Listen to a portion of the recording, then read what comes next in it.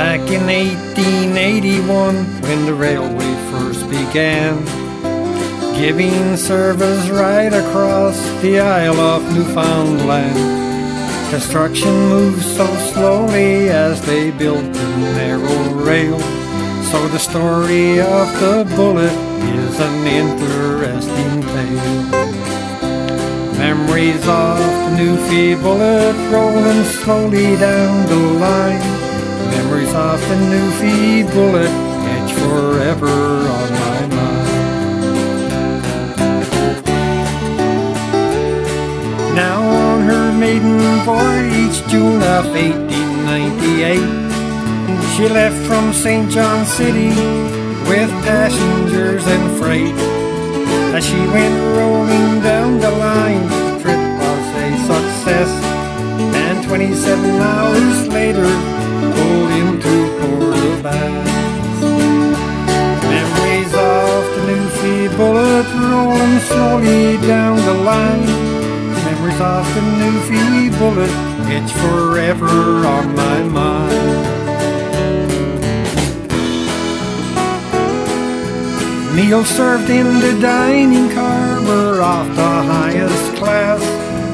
Tables dressed in snow white cloths, china and real glass.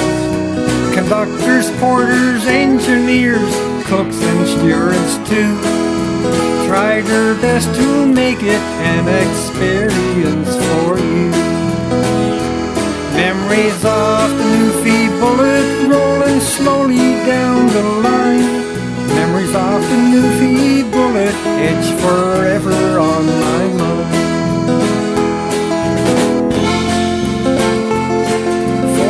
those who rode the bullet, they could view the scenery while traveling away across Newfoundland. It was a luxury.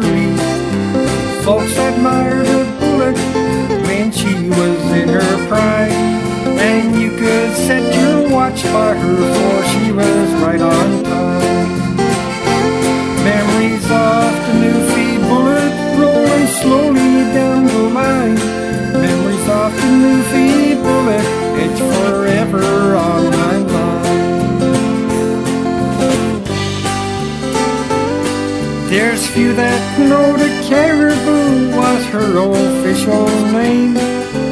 Most will fondly think of her as a Newfie bullet train.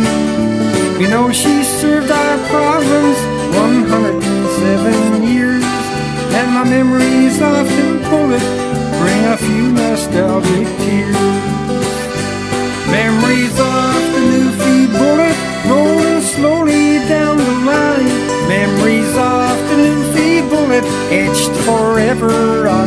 mind.